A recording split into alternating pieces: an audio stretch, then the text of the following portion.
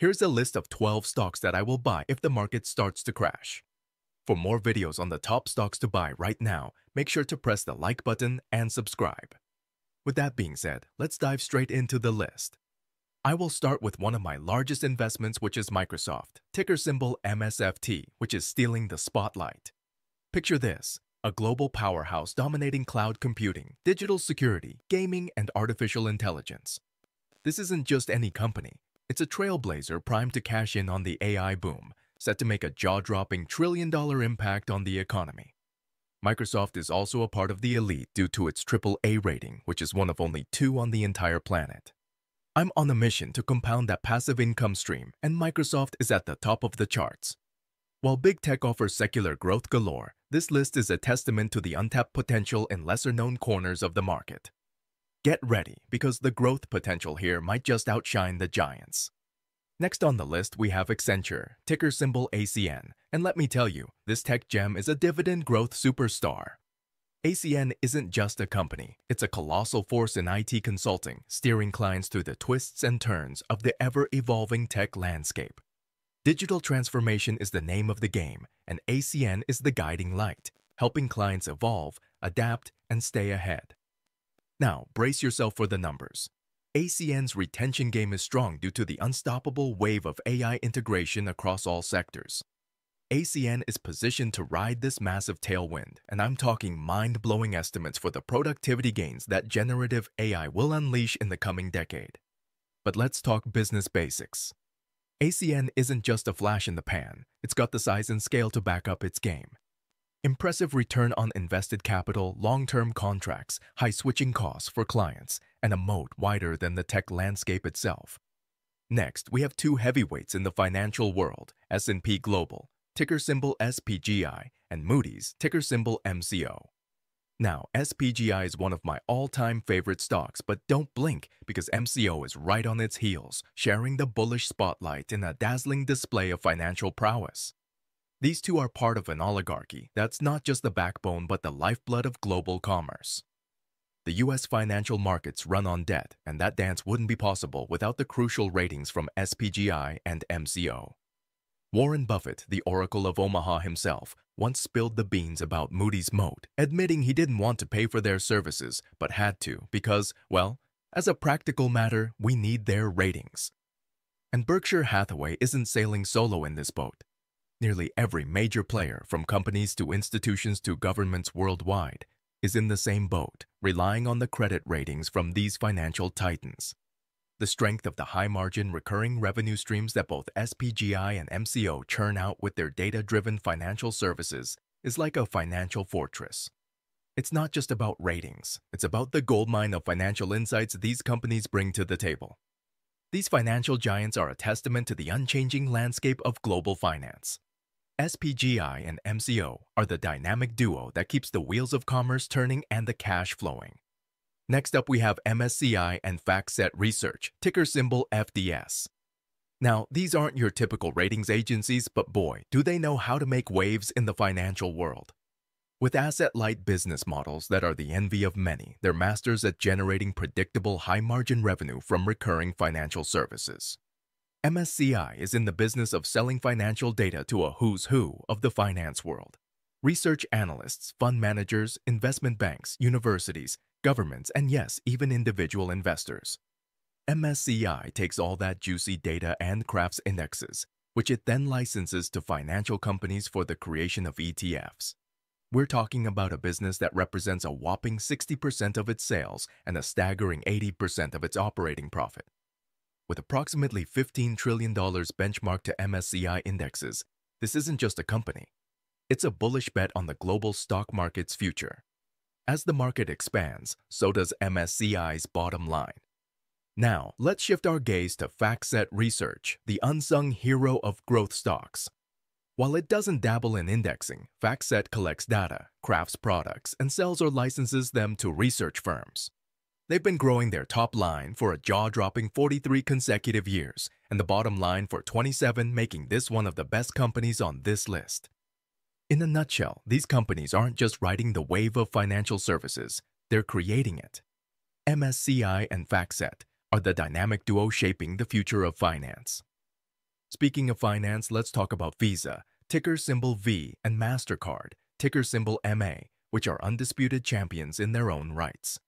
Currently, we're hurtling towards a cashless society, and as digital payment volumes soar, these two giants are at the forefront, orchestrating the symphony of financial transactions. Crypto may be the talk of the town, but don't count out Visa and MasterCard just yet. Their seasoned management teams are ready to evolve and adapt alongside the crypto revolution. Now, let's talk business models.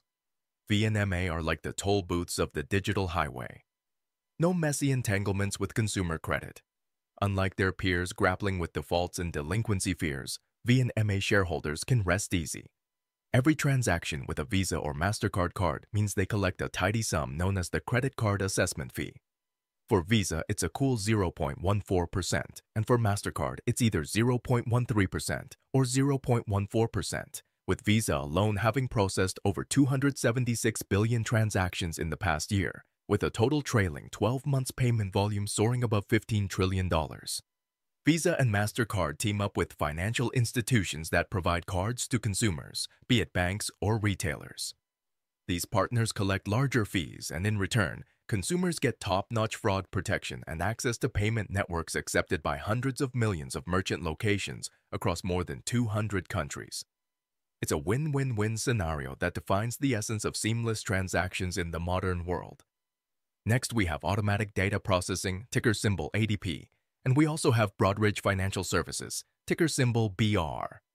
First up, let's tackle ADP, the unsung hero of human capital management. ADP steps in and takes the reins of back-office administrative functions, such as payroll, human resources, taxation, and benefit solutions.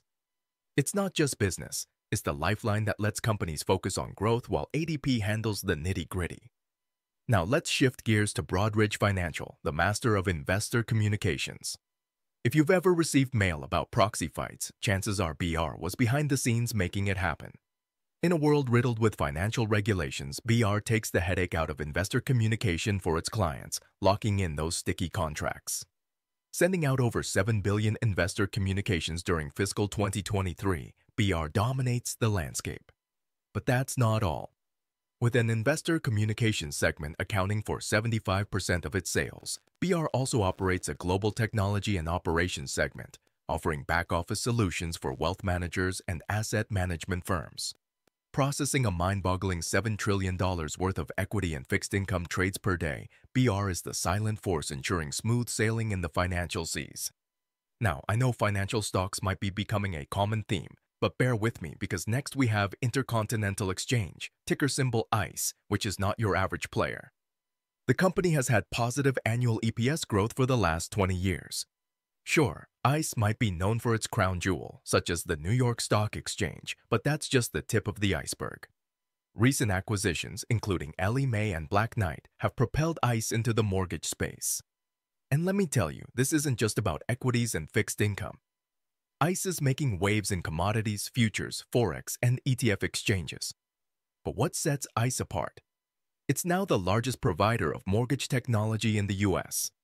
ICE is at the forefront of this transformation, riding a long-term tailwind that's set to reshape the industry. And when it comes to the toll booth model, ICE knows the game. It collects fees based on transaction volume on its exchanges, making it a rare breed that thrives on market volatility whether it's positive or negative, because ICE is set to benefit regardless of the market direction. And now for the grand finale, let's talk about the iconic McDonald's ticker symbol MCD. You might be thinking, why is a fast food giant on a list with financial heavyweights? Well, buckle up, because McDonald's is no ordinary burger joint.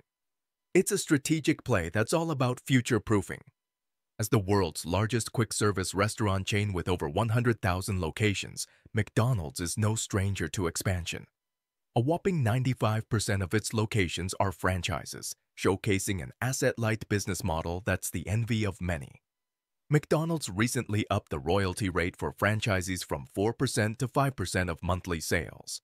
This isn't just about flipping burgers, it's about capitalizing on a worldwide love affair with fast food. Now, let's talk numbers. McDonald's gross margin has soared from 38.8% in 2013 to a mouthwatering 57.2% today. With the majority of locations being franchises, McDonald's can focus on the big picture, which is marketing, menu development, and cutting edge automation systems. The recent increase in the royalty rate is just the tip of the iceberg for this toll booth model in the fast food universe. Automation is the name of the game moving forward, promising increased productivity and profitability for both franchisees and the parent company. When recession knocks on the door, demand for value-oriented options like McDonald's rises, so this stock will save you even when other stocks are falling. The burger giant not only stands the test of time, but also brings a unique flavor to a list dominated by financial heavyweights. It's not just about burgers, it's about a global phenomenon that's as reliable as they come.